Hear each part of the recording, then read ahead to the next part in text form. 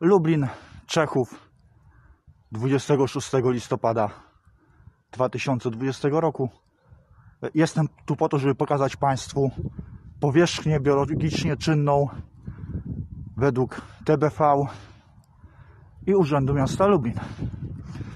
Pokazuję po to, żebyście Państwo mieli pełną świadomość, żebyśmy mieli wszyscy pełną świadomość, jak będą wyglądać górki czechowskie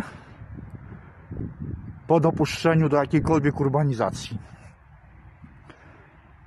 To, co jest nad tym, nad tą powierzchnią biologicznie czynną, to jest tak zwany hotel studencki, a główne wejście do pokoi akademickich możecie Państwo zobaczyć na planszy startowej do tego materiału. Te substytuty drzew miały zrekompensować sąsiadom ilość miejsc postojowych zewnętrznych.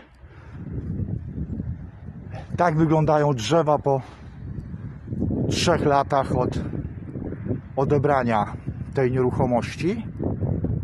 Według planów miejscowych inwestor zobowiązany był zachować 50% terenu, 50% działki jako powierzchnię biologicznie czynną. Tu jest tego 6 razy mniej.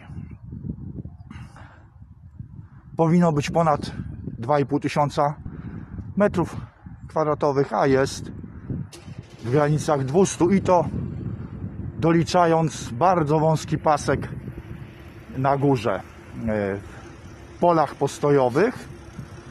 W efekcie zaniżono sześciokrotnie, a i co najmniej o połowę w stosunku do tego, co Urząd, Miasto, Urząd Miasta Lublin pozwolił wpisać inwestorowi w dokumentację projektową i, i wykonawczą.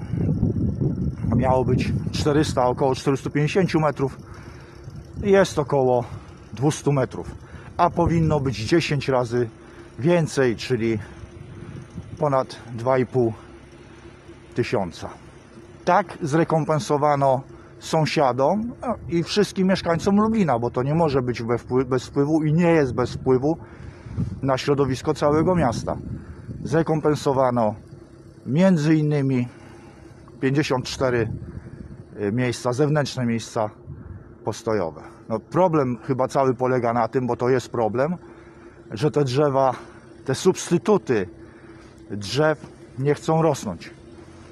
Trawa nie chce rosnąć, nawet usycha to, co jest wsadzone y, w doniczkach. Tu takie są super egzemplarze powierzchni biologicznie czynnej y, ala TBV i sprzyjający mu Urząd Miasta Lublin.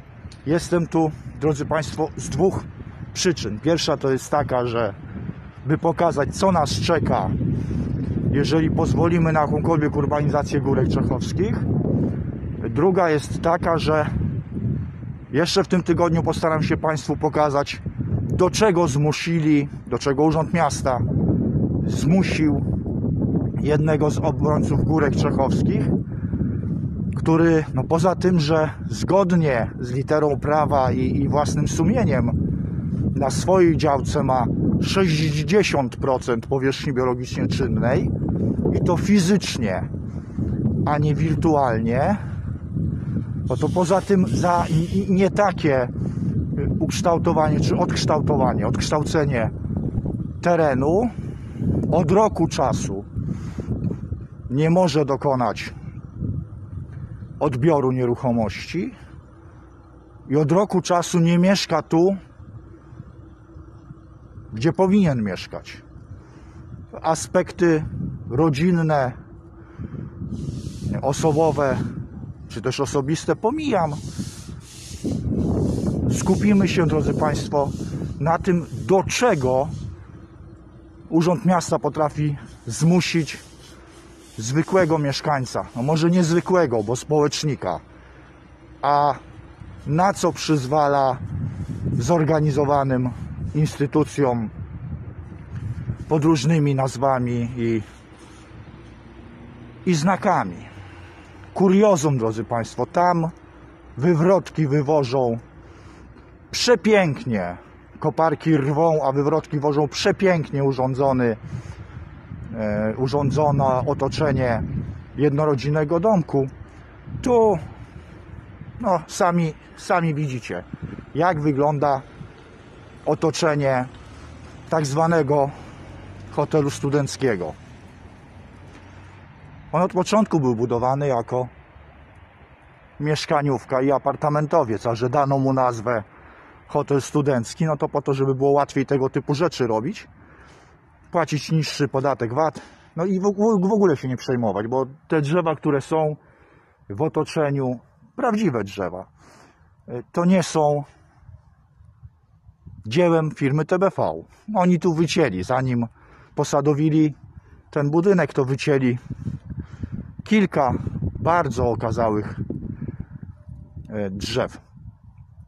Udamy się na ulicę Halickiego jeszcze w tym tygodniu i porównacie Państwo. Gdyby wobec TBV Urząd Miasta zastosował podobne podejście, a nie mówię, że restrykcje, takie normalne podejście, to pół tego budynku trzeba byłoby wyburzyć, żeby spełnić warunki tych e, 50% powierzchni biologicznie czynnej, czyli ponad 2,5 tysiąca metrów kwadratowych.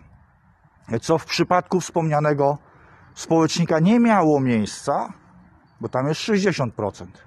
Nawet Urząd Miasta stwierdził, że jest więcej niż 60%, więc trzeba było doprowadzić do całkowitej ruinacji, opierając się o zapisy e, strefy, stref ochrony dla obszaru sąsiedniego do Górek Czechowskich, E, a jak chronione są górki czechowskie same w sobie i, i wewnątrz całego systemu ochrony, to możecie Państwo poznać po materiałach filmowych tam realizowanych, tudzież całej masie zdjęć wykonywanych przez mieszkańców Lublina i publikowanych między innymi na oficjalnym profilu facebookowym Górek Czechowskich wiecznie zielonych.